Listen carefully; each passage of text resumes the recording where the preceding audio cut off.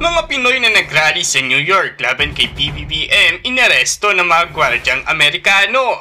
Pagpuna nga ng mga netizen, rally now, piyansa later. Bago tayo magpatuloy for today's video, i-hit mo na agad yung like button para sa mga susunod pang ibabalita. By the way, here's your Chikabe updates! At kung hindi ka pa nakapag-subscribe, isubscribe na yan!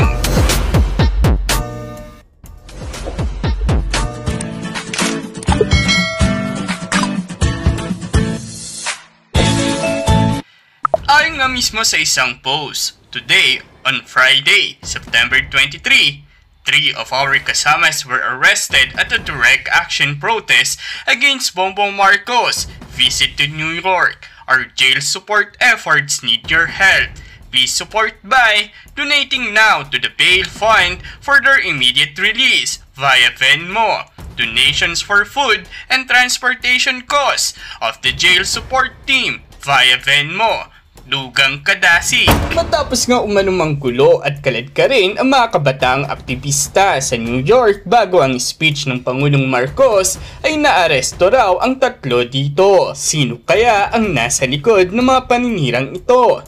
Malinaw na sila ang nanggulo, nagkusa pumunta at magrally ng wala sa lugar.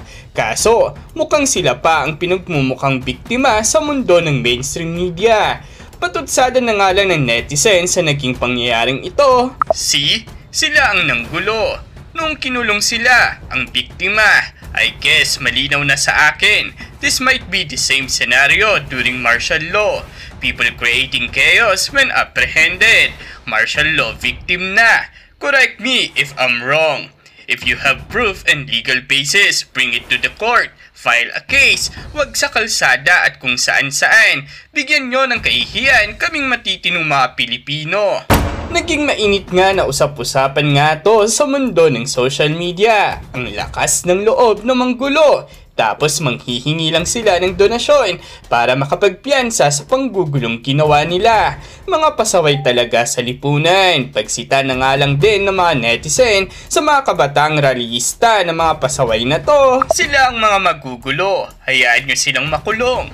Ngayon maglilikom ng donation para ano? Hayaan yung family nila ang tumulong sa kanila. Magbibida-bida pa sila, mga walang respeto sa gobyerno. Pinayaran ang mga yan. Nakakahiya ang mga tao na yan. Buhay nga pero nasusunog na mga kaluluwa sa impyerno. Ganyan din gawin dito sa Pinas at nang tumino ang mga nagmamagaling na yan. Fish tea. Paano uunlad ang Pilipinas? Andyan silang perwisyo. Dapat hanapin ang organizer ng mga yan at nang managot sa panggugulo sa present administration. Bago mag-martial law, ganito yung mga matanda sa kanila na mga bata pa noon. Nang gugulo, nang bobomba, ng molotov, nanununog, nagmamarcha sa kalsada, tapos na nag-martial law, sila ang nagiging biktima daw. Manahimik na lang kayo kesa manggulo. Ayan tuloy, kulong. Tapos paawa effect hingi ng tulong pero hindi inisip kung ano magiging resulta. Tapos ngayon, sasabihin, saan ang hustisya? Tapos humihingi ng donasyon. Naku, huwag kayo magbigay dyan. Panigurado, gagamitin lang din ang donasyon mambayad sa mga mauuto nilang tao para manggulo, gagawa ng eksena laban kay BBM. Kunwari lang mga yan. Gumising kayo. Huwag kayo puro gulo. Dapat mabulok sila sa kulungan. Sila yung tunay na mga alipores ng Diablo. Walang kapaguran, mambabastos ng tao, kahit saan sulok man ng mundo.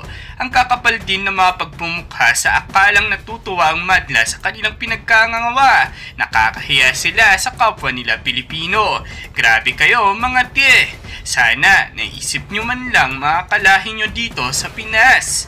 Akala kasi naman ng mga to, sila ang biktima ng martial law. Tapos kung makakontra sila, akala mo sila ang mga naagrabyado. Masyado nga lang ba sila nagpa-brainwash sa mga nag-iimpluensya sa kanila o sadyang mga ututo lang?